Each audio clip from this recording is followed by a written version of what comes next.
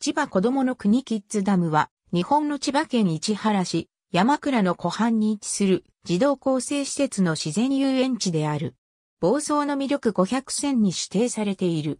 1971年5月、千葉県子供の国として開園。その後、千葉県レクリエーション都市開発株式会社によって、千葉子供の国キッズダムと改名した。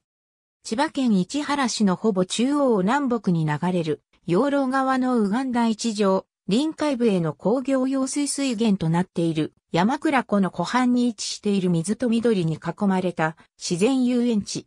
山倉湖の自然環境を活かし、プール、釣り堀、サイクリングコース、ゴーカート場、山倉貝塚等の施設を備えている。入園有料。安全に遊べるアトラクション、楽しく学べる体験プログラムやイベントも豊富である。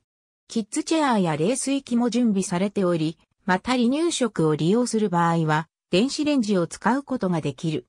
郵便番号290-0201千葉県、市原市山荘1487番地、木曜日休園地泊無料で利用できる。施設有料施設、回数券なども取り扱っている10時15時まで、通年利用か、予約か、サブセンター、バーベキュー受付にて現金払い、炭、焚き木、着火剤、アルコールの販売あり、焚き木、担当の燃料の持ち込み不可。園内での食材販売はなく、食材、調味料、油、お皿、お箸などは持参。大テーブル2カ所、小テーブル15カ所。水洗い場、ゴミ捨て場施設あり。園内には伝統文化施設として山倉貝塚が展示されている。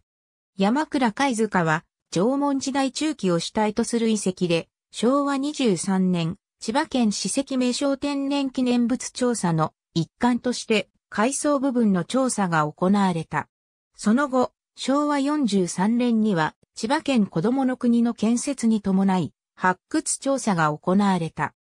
出土遺物には、瓦家、石族や石符などの石器、土器片おりのほか、海人、貝輪、宝貝加工品などの貝製品、安上子と次ぐ、ヘラ、垂れ飾り品などの骨製品が多く、当時の集落関係を考える上で貴重な発見になっている。また、縄文時代中期の頃の貝塚から出土したものを頼りに古代の家のイメージも再現している。ありがとうございます。